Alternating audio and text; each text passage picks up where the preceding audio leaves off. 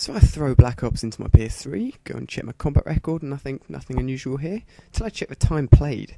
Exactly three days, three hours, three minutes, and three seconds. And apparently I'm just about to hit level 33. So that was slightly peculiar. here are all my stats on the screen if you are uh, interested. And what I'm going to be doing here is a special video. It's actually going to be a two-way video of the same game.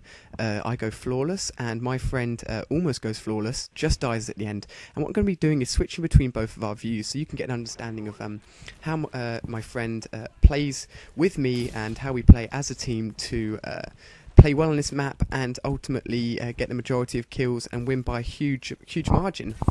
Uh, now, on a map like this, you definitely want to be getting the advantage by uh, holding down the indoor um, area. As you can see here, I've got the close quarter combat um, gun, and he's got a long range gun, so I'm going to be taking the lead while he follows up behind. Um, in a game like this, uh, if you're going to be spawning outside over and over, you're definitely going to be uh, at a disadvantage. So I take the inside route here and hold down this building. This building uh, gives a nice view across many of the spawns, and if you manage to hold down this building for the whole map, then you're definitely going to do well.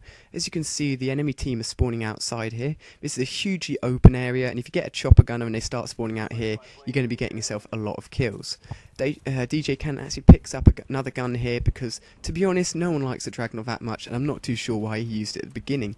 But um, uh, the stoner that he picks up uh, throughout this match, and perhaps another gun, I can't really remember, but um, that def definitely helps him out uh, and gets him a couple more kills. Whereas the uh, Dragunov is not a too uh, too decent gun. I don't like it too much. I think he just used it for a bit of a laugh at the beginning. But then, uh, being resourceful, he uh, picked up another gun. That's another thing I'd like to touch on. Uh, many commentaries you see the commentator using one gun throughout the whole of the match. And one thing that you don't see very much of, especially on YouTube, is actually the commentator. Um, using various guns throughout the match or switching his class throughout the match.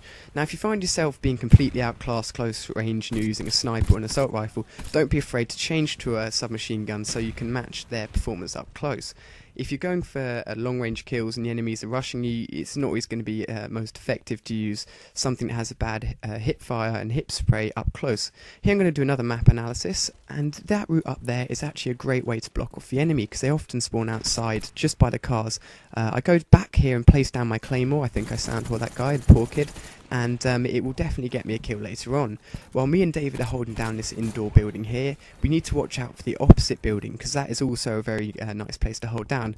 And the enemy do have that for most of the uh, game, but it's not a huge problem because it isn't as dominant as the uh, building we are holding down. Uh, now, while I've got my chopper gun in the air, I'm going to be able to control the spawns, and uh, the enemy team aren't going to be able to go anywhere far. And if they are going to spawn inside, we know which building it's going to be. It's going to be the one on the opposite side of the map. So as um, as I rip into the enemy team here, Dave's going to take a seat back. Um, I tell him and give him a couple of call-outs as to where the enemy team are. He picks off the ones that are indoors, and um, from this point onwards, it's basically just me holding down the enemy uh, enemy team while David uh, keeps his uh, keeps his cool. You know, he's got a blackbird. and He's going to have a chopper gunner very soon. He doesn't want to die.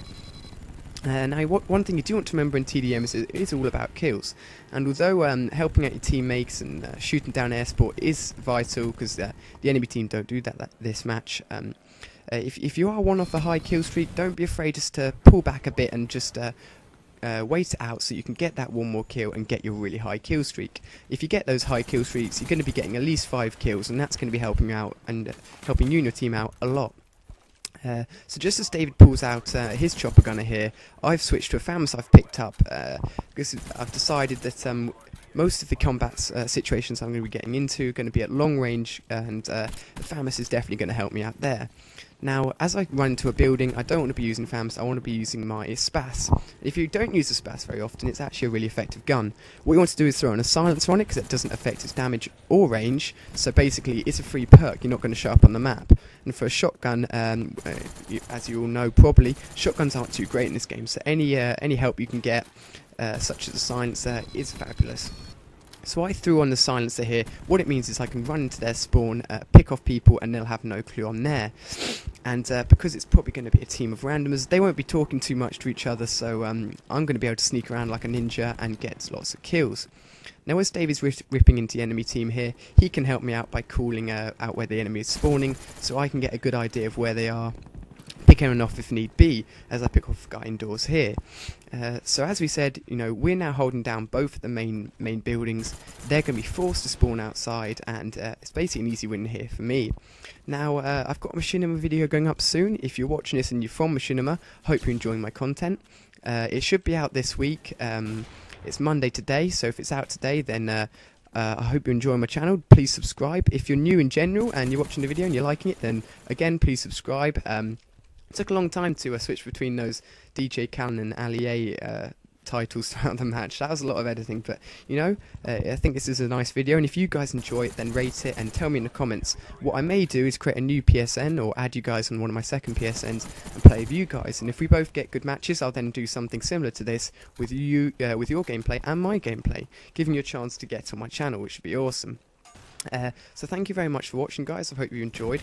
I finished a match here, it was just about to finish uh, 34 and 0 and DJ Cannon finishes 31 and 1. He just got dies at the end unfortunately, but um, we completely ripped into the enemy team and as you can see here we got uh, let's see, 90% of the kills, I believe, so a very good game. So thank you very much for watching, guys. Uh, like is always appreciated, and uh, if you are new, subscribe. Thank you very much.